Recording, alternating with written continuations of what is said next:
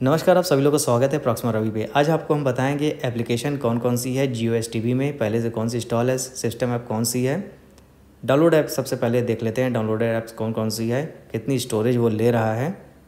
देखिए downloaded apps में जो है, देखिए Discovery plus Hotstar Jio cinema Jio games Jio news Jio photos Jio Saavn Jio square Jio T plus my Jio application my music Prime video Sony LIV Sony Sun next YouTube Zee five ये कुछ जो है downloaded app है और आप application को uninstall भी कर सकते हैं।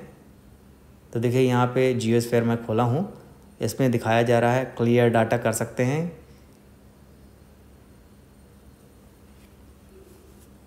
और आपको मैं दिखाता हूँ Disney Hotstar Jio cinema Jio cinema पे मैं गया। क्लियर डाटा आप कर सकते हैं यहाँ पे भी, क्योंकि मैं जियो सिनेमा इस समय ज़्यादा इस्तेमाल करता हूँ। डिज़नी हॉट स्टार भी मैं इस्तेमाल करता हूँ तो उसको भी आप जो है कर सकते हैं। जबकि हॉट स्टार मैं इस्तेमाल ज़्यादा कर रहा हूँ तो तीन सौ चालीस एम बी का उसमें जो है कैच फ़ाइल आ चुकी है। एक तरह से हिस्ट्री रहती है ये, जिसको आप क्लियर कर सकते हैं।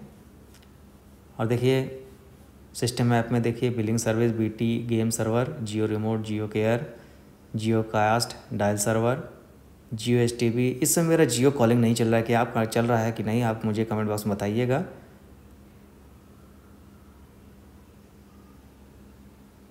ये सिस्टम की एप्लीकेशन है, इसमें कोई भी छेड़छाड़ ना करिएगा।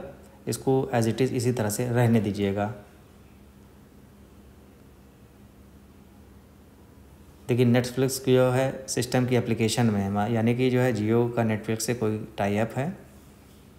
यहाँ पे आप अनइंस्टॉल भी कर सकते हैं। कौन कौन सी एप्लीकेशन को आप अनइंस्टॉल कर सकते हैं? यहाँ पे आपके सामने है Discovery Hotstar Jio cinema Jio games Jio news Jio photos Jio Saavn Jio square Jio TV plus